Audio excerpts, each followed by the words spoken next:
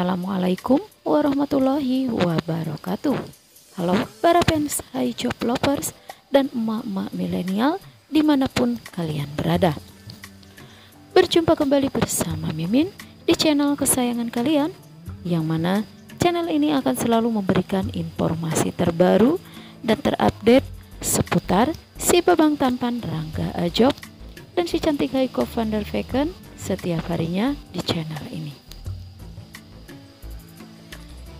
Oke sahabat Hijab Lovers, kali ini ada kabar terbaru yang mana datangnya dari si Babang tampan Rangga Ajob dan si cantik Heiko van der Vecken tentunya ya guys. Yang mana di sini terkuak. Inilah pengakuan Rangga Ajob saat ditanya di Ide Garisi semalam tentang siapa yang bangunin sahur semalam.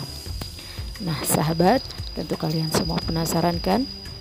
Tapi sebelum lanjut ke pembahasan, Alangkah baiknya bagi kalian semua yang baru saja bergabung dan menemukan channel ini, jangan lupa tekan dulu tombol subscribe dan nyalakan juga lonceng notifikasinya terlebih dahulu. Tujuannya agar kalian semua tidak ketinggalan informasi terbaru dan terupdate setiap harinya di channel ini. Oke sahabat High Job Lovers, tak usah menunggu lama-lama, kita langsung saja ke isi pembahasan.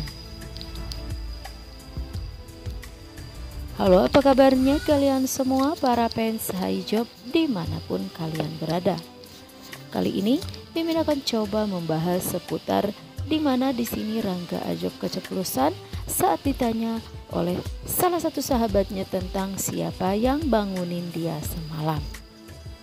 Nah sahabat tentu kalian semua semakin penasaran kan Makanya tonton sampai habis video ini agar tidak terjadi kesalahpahaman di antara kita.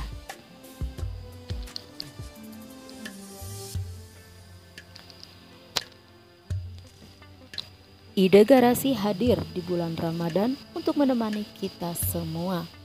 Dan di sini salah satu sahabat dari Haika van der Vecken yaitu Aga Dirgantara bertanya kepada si babang tampan Rangga Ajob tentang siapa yang bangunin sahur. Nah, di sini Rangga Ajob keceplosan bilang, Hai, Ko van der Vecken.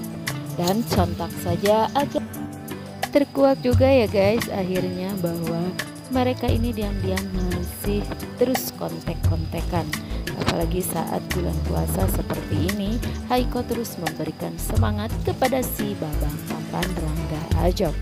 Dan di sini Rangga Ajob keceplosan bilang yang bangunin sahur adalah Haiko van der Vecken sambil senyum-senyum. Tentu saja ya guys, Arga Dirgantara sangat ngakak ketawanya mendengar hal itu. Ya, seperti yang kita ketahui, Rangga Ajob ini kan orangnya sangat tertutup sekali. Jadi dia tidak ingin apa pun yang terjadi hanya dia sendiri yang mengetahuinya. Seperti itu ya, sahabat. Tapi di ide garasi kali ini, Rangga Ajob keceplosan bilang kalau ada yang tahu orang yang spesial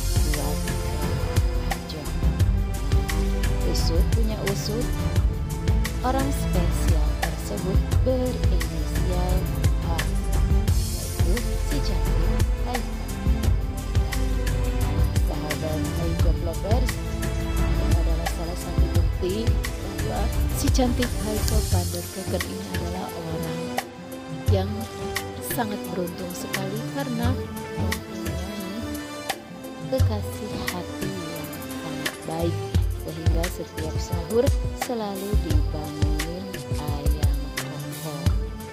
Sahabat, bagaimana menurut pendapat kalian?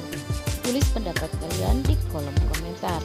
Dan jangan lupa bagi kalian semua yang baru saja bergabung dan menemukan channel ini, jangan lupa tekan dulu tombol subscribe dan nyalakan juga lonceng notifikasinya terlebih dahulu.